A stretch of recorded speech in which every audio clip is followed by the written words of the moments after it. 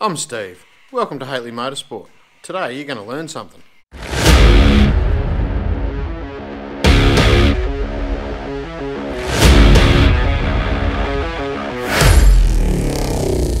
It's maintenance day here at Hateley Motorsport, and number one on the maintenance list every week is to clean the injectors. If you ever have a problem with one of these wingless sprints running, 99 times out of 100, it's going to be the injectors. The methanol just, they don't like it. So, today I'm going to run you through what we do to modify them for methanol um, and cleaning them. I do this every week. And I'll show you why in a, when bit later on why we do it every week. Now the injectors I use and what I've found is probably the best is they're just standard old VN Series 1 injectors. We do modify them slightly to run the methanol. They flow a bit more. From what I can gather, these have been the most reliable. That's it, six injectors. Now I've got the injectors out, we'll whiz them into work and I'll run you through what we do to modify them and um, the cleaning procedure that we do. Alright, so here we are at work. Got the injectors all set up in the flow bench. Let's run them through a flow cycle and see how they go. I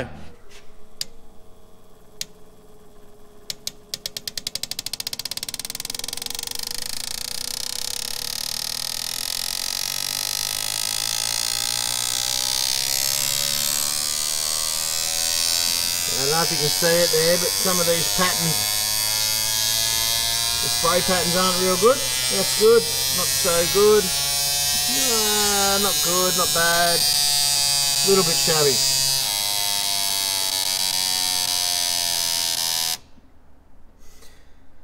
And there you go.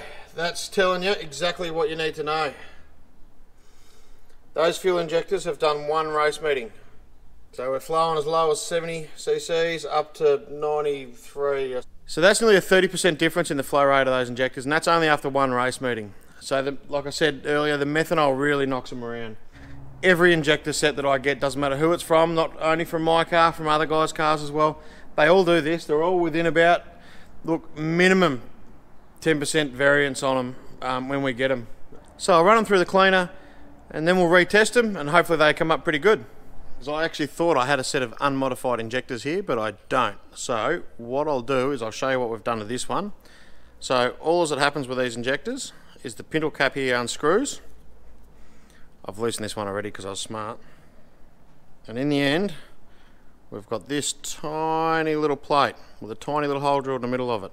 Now the injectors, when we when we get them, they have a, a another plate with a smaller hole in them, and we just replace them with these.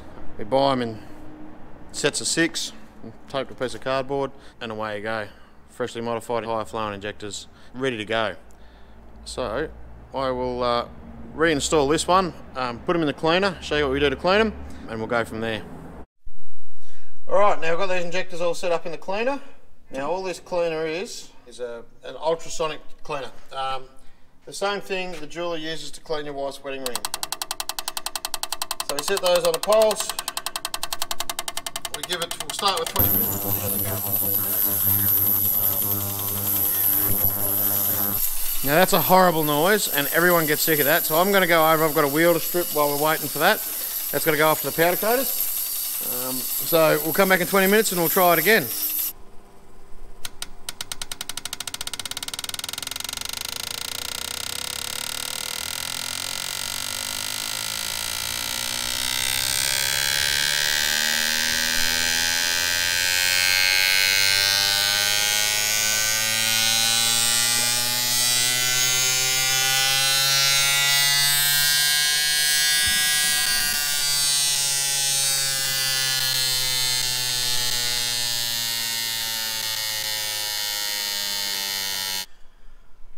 Alright, so that's what we were looking for.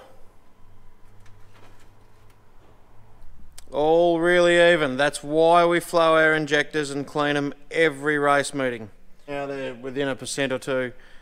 Uh, we'll bang them back in and we'll see how it runs.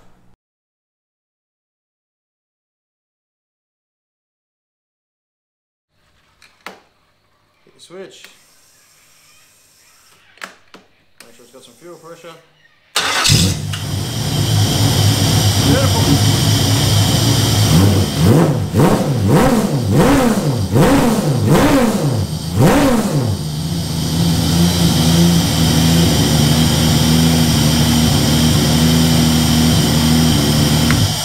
Got that fired up. If you need any advice about injectors, give us a ring at Horsham Off-Road or hit us up on Facebook or Instagram or YouTube in the comments below. Make sure you like the video, share it, subscribe to the channel. We've got Portland this weekend, Southern 500 Speedway in Portland. Good racy little track. Um, the first time I ever drove one of these wingless sprints was around that track and I love the joint. Haven't raced there for a season or so, so it'll be good to get back there. We'll see you then.